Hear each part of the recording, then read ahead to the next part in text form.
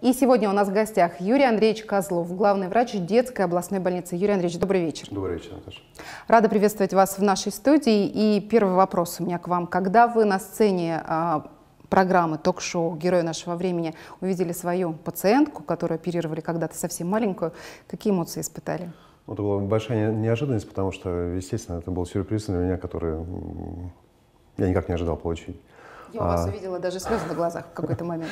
Ну, наверное, было слезливое э, состояние, потому что увидеть ребенка здорового после многочисленных порой а, настолько сложных операций, что не, не предполагает всегда хорошего исхода. И видеть э, девочку, которая 12 лет, когда мы самостоятельно передвигаться, нет тех проблем, которые ограничили жизнью и смертью раньше. Юрий Андреевич, ну вообще вот эта программа, она ориентирована на молодежь. Она ориентирована на то, чтобы показать э, молодым людям, молодому поколению, какие а, вообще есть врачи сейчас. Ну и там многочисленные программы были до этого про других разных людей, разных профессий.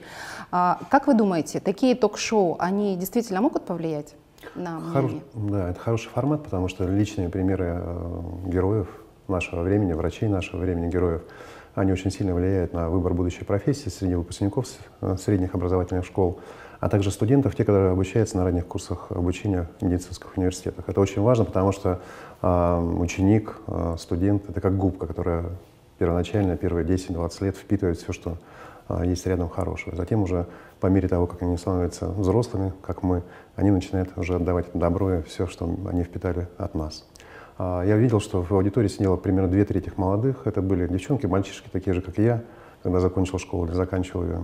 Когда все пути, в принципе, в жизни были открыты. И куда пойти учиться, вопрос так не стоял. Я готов был везде учиться, и математике, и, но не только не медицине. Но потом вот случай изменил жизнь. Юрий Андреевич, а, вот вы совсем недавно встречались и в Иркутске, а, в своей больнице со студентами а, Иркутского государственного университета медицинского. И сколько ребят готовы прийти работать в больнице? Как их можно сейчас заинтересовать? Потому что все-таки проблема кадров стоит острая, и у вас в больнице наверняка. Как вот с ними будете работать? Показать ребят, молодым ребятам будущее, и в этом будущем они найдут для себя все, что им необходимо сейчас.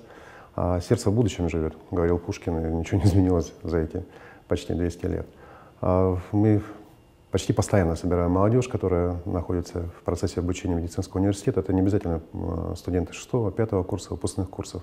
Это молодые люди, которые находятся на старте своей профессии, первокурсники.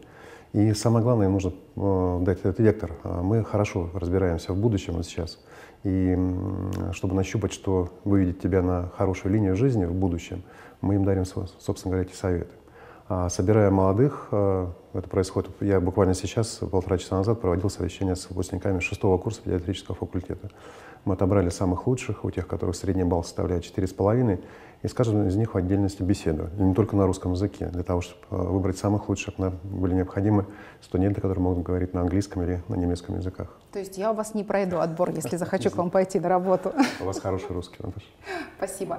Юрий Андреевич, а вы их роботизированной хирургией заинтересовали? Разумеется, а робот э, — это уже не просто какая-то выдумка настоящей реальности. Робот, за которым я сижу, и многочисленное, многократное количество раз уже работал в Москве. Он, я надеюсь, появится скоро в Иркутске. Это тоже хороший э, повод для того, чтобы озадачить э, молодежь, для того, чтобы нашла учиться хирургии, детской хирургии. Мы понимаем, что мы сейчас живем в век четвертой технологической революции, когда цифра, цифра будет менять абсолютно все, и цифра будет стоять в основе, в основе всех процессов. Вот я сегодня закончил научную статью, которая называлась «Математическое моделирование кишечных анастомозов у детей». А раньше, до рецензии главного редактора журнала «Педиатрия», она называлась «Нейронные сети и искусственный интеллект в выборе метода хирургического вмешательства». Понимаете, о чем я говорю? Вот именно на это должна сейчас молодежь быть нацелена. Ну и еще один вопрос, он, наверное, такой больше личный. А для вас герой нашего времени это кто? Мои герои, э, мои герои — это люди, которые находятся рядом со мной, мои, э, собственно говоря, соратники и люди, которые поддерживают меня. Это хирурги, которые, среди которых я работаю.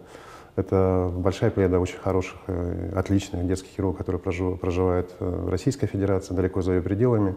Это большое сообщество, которое в условиях цифровизации мы очень легко связываемся в рамках научных конгрессов, которые сейчас проводятся онлайн режиме.